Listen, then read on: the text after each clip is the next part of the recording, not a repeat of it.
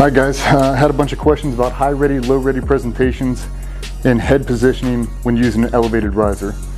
So from the last video we talked about, we prefer them for teaching because we don't have to search for a red dot. So if I use my head as baseline right now, we call this center. My high ready, my head doesn't move, I drive out the gun, I seat the gun, head doesn't have to drop down, I'm not searching for anything. Back to neutral. Compress low ready, drives out straight into my eye line, seat, safety finger fire, just like it always was.